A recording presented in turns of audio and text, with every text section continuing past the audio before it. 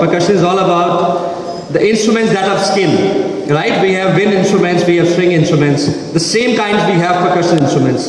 The instruments which have skins are called percussions. So I will do a very small kind of exercise. It's called a music exercise, or we can say it in classical bol. It's called bols. So we'll divide this beautiful place into three groups, right? And the groups would be first, second, third, first, second, third, one and two, right? It's okay, guys? One, two, three is one group. One, two, three is second group, and one, two is the third group. Clear? So the first group, you clap for yourself.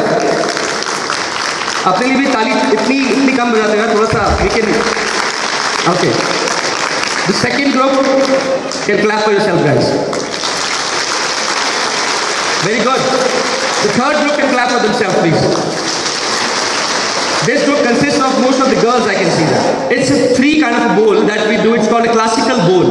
It's thin thin na din na din na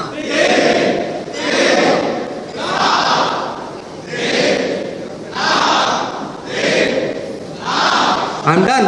I won the game. It's tin tin na, din na, din na, tin tin na. So, you know, what is this? This is a percussion bowl. In a classical form, it is